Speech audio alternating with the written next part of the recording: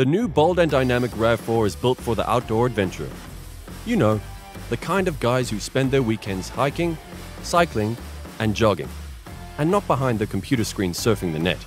But if our target market are on the cycling trails, how will they explore the new RAV4 website? Unless, of course, we take the website to them. So on a 1.8 kilometer cycling track at the Bryanston Cycle Park, we literally built the models, safety, interior, design, and book a test drive sections of the RAV4 website.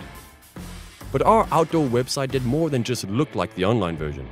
It was also built to behave like it.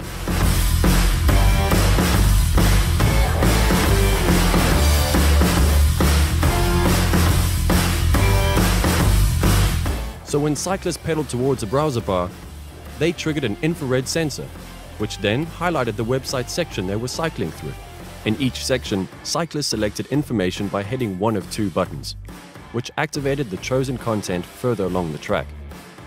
They could also activate live tweets along the route, so that their sporty followers could learn about the new outdoorsy RAV4 2.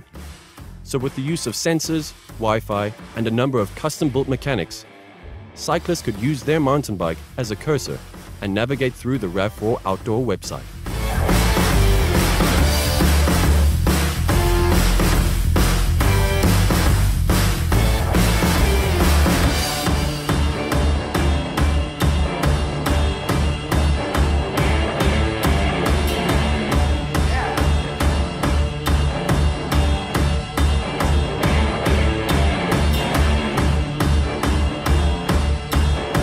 At the finish, cyclists triggered a refresh button. It was particularly refreshing. They then collected a test drive invite and entry ticket to win a cycling voucher. And if they didn't make it to the cycle park that day, they could still enjoy the offline adventure online. Showing our target market that with the new RAV4, the adventure never ends.